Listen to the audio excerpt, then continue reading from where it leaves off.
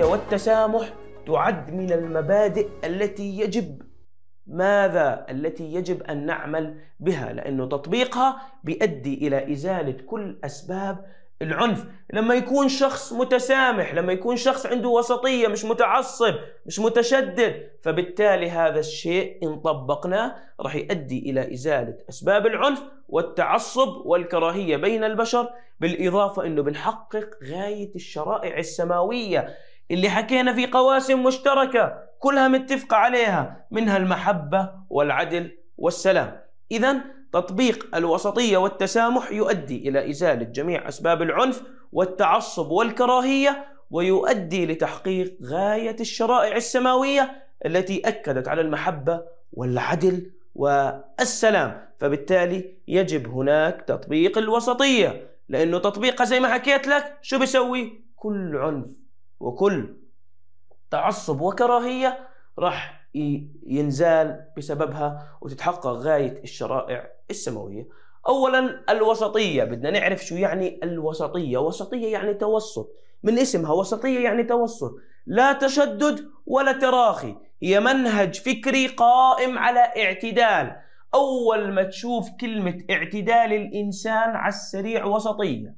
ممكن يجيك سؤال بالامتحان الوزاري والوزارة بهاي الوحدة بتحب التعريف، هو منهج فكري قائم على اعتدال الإنسان. أول ما تشوف كلمة اعتدال الإنسان على السريع بتحط إيش؟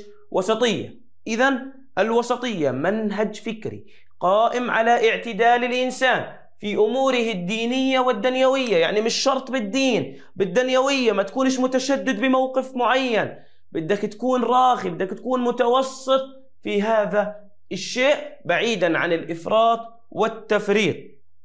تمام؟ تمام. إذا وسطية دعت الشرائع السماوية لتطبيقها لأنها بتؤدي إلى إزالة العنف والتعصب والكراهية. وتعريفها هي عبارة عن منهج فكري وموقف أخلاقي قائم على اعتدال الإنسان في أموره الدينية والدنيوية بعيدا عن الإفراط والتفريط. وتعد من أبرز خصائص الأمة الإسلامية. حط لي خط عليها عندك بالدسية أبرز خصائص الأمة الإسلامية الوسطية. الأمة الإسلامية هي أمة وسط وجعلناكم أمة وسط. تمام؟ تمام. إذا الوسطية تعد من أبرز خصائص مين؟ الأمة الإسلامية. وتعد من أبرز خصائص الأمة الإسلامية لأنه ببساطة ديننا الإسلامي قائم على اعتدال الإنسان واعتداله في أموره من غير أن يكون هناك تشدد بل يكون هناك توازن واعتدال وتوسط ويسر. الدين الإسلامي دين يسر وليس دين عسر كما دعا الإسلام إلى الوسطية الشاملة للحياة في جوانبها لأنها بتحقق أهداف. هاي الأهداف تكون نبيلة في حياتنا وفي مجتمعنا. إذا الوسطية من أبرز خصائص الأمة الإسلامية لأن الدين الإسلامي قائم على اعتدال الإنسان وتوازنه ووسطيته ودعا إلى تحقيق حياة جملة تضم جملة من الأهداف النبيلة في حياة المجتمع. فسر الدين الإسلامي ما كان يوما إلا حربا على نزعات الغلو والتطرف والتشدد. وهنا جلالة الملك عبد الله الثاني يوضح ويفسر أن الدين الإسلامي دائما يقف ضد من هو متشدد ومن هو متطرف. الإسلام دين الوسطية دين التسامح وذلك لأنها تحجب العقل عن تقدير سوء العواقب. لما تكون أنت غير متوسط لما تكون أنت متشدد راح يؤدي ذلك إلى عواقب واندفاع أعمى.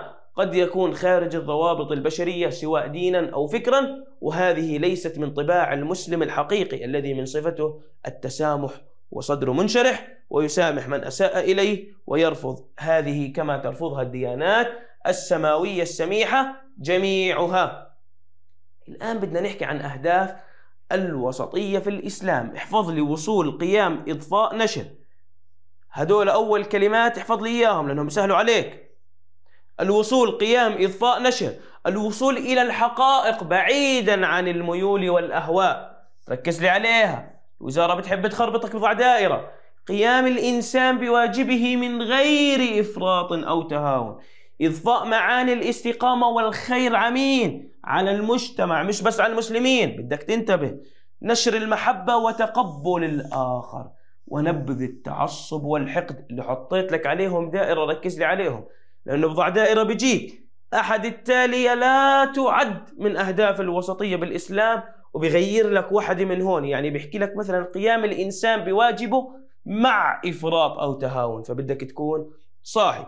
إذا هناك أهداف للوسطية بالإسلام ومن هذه الأهداف الوصول إلى الحقائق بعيدا عن الميول والأهواء وقيام الإنسان بواجبه من غير إفراط أو تهاون وإضفاء معاني الاستقامة والأمانة والخير عمين على المجتمع ونشر المحبة وتقبل الآخر ونبذ التعصب والحقد.